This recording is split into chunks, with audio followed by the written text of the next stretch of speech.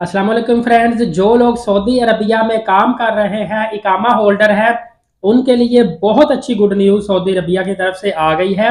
आप लोग यकीनन परमानेंट वीज़ा के बारे में जानते होंगे, जिसको डिपेंडेंट वीज़ा भी बोला जाता है। इस वीज़े पर कोई भी इकामा होल्डर चाहे वो पाकिस्तानी इंडियन बंगाली किसी भी कंट्री का हो, अपनी फैमिली को सऊदी अरबिया में अपने पास बुला सकता है, जिसमें उसकी बीवी और 18 साल से कम उम्र बच्चे शामिल होते हैं।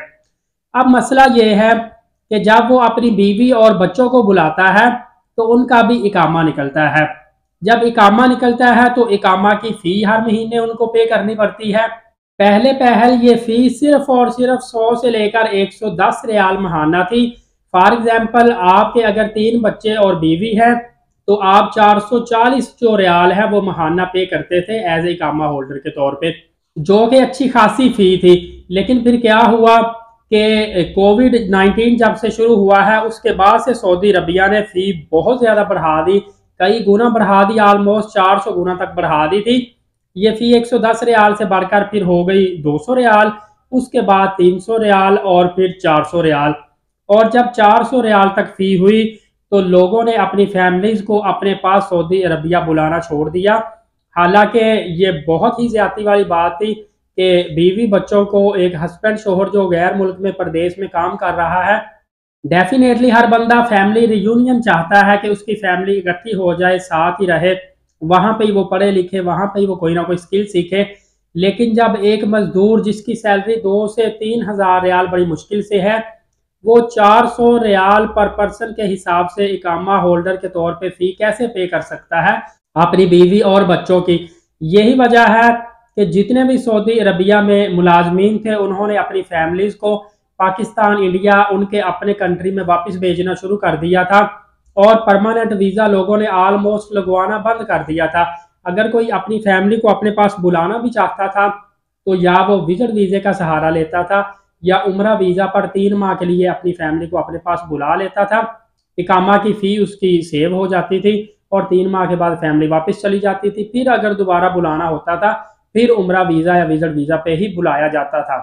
इस चीज़ को लेकर काफ़ी ज़्यादा एहतजाज भी हुआ। सऊदी अरबिया पर तनकीद भी हुई, लेकिन सऊदी अरबिया ने किसी की नहीं मानी। अब जाकर जब सऊदी अरबिया को ये एहसास हुआ है कि लोगों ने परमानेंट वीज़ा लेना बिल्कुल ही ख़त्म कर दिया है वीज़ा अप्लाई करने की रेशो भी इंतहाई कम रह गई है, तब उन्होंने ये अंदाज़ा लगाया है कि ये इकामा फ़ी जो बढ़ाई गई है, इसकी वजह से इशू पेश आया है।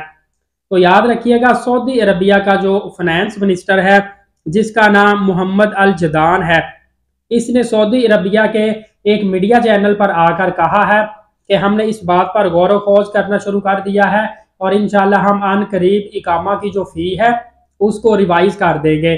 सुनने में यही आ रहा है कि इकामा फ़ी जो है, वो सिर्फ़ सौ रियाल तक रह जाएगी, लेकिन हो सकता है सौ से डेढ़ सौ रियाल के बिटवीन में हो। लेकिन इंतहाई कम कर दी जाएगी। तकरीबन साठ से सत्तर परसेंट इकामा फ़ी जो है, उसमें कमी देखने को मिलेगी। अब इसमें जो गैर मुल्की सऊदी अरबिया में मुकीम है, उनको बेनिफिट क्या होगा मैं आपको बताता हूँ। जब आप लोग अपनी फैमिली को सऊदी अरबिया में बुलवाएँगे तो परमानेंट वीज़े पर आपको पता है कि बच्चों का और बीवी का इकामा बनता है और मंथली इकामा फ़ी पे होती है।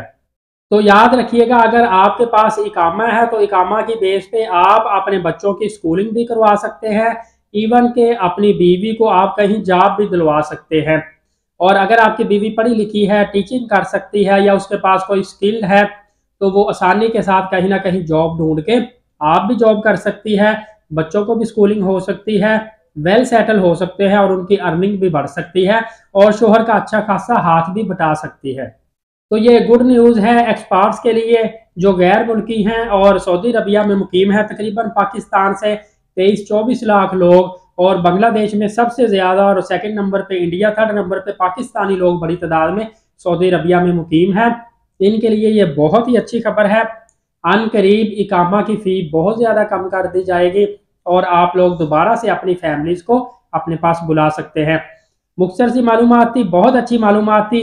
दूसरों तक शेयर लाजमी कर दीजिएगा। नए आने वाले अलीफ साकिब यूट्यूब चैनल को सब्सक्राइब कर लें, नमाज़ कायम करें, रोज़ाना नबी पाक सल्लल्लाहु अलैहि वसल्लम पे कसरत से दरूद पाक भेजा करें। इंशाल्लाह अगली वीडियो में मिलेंगे, तब तक के लिए इजाज़त दीजिए, अपना बहुत सारा ख्याल रखिएगा, बहुत शुक्रिया, अल्लाह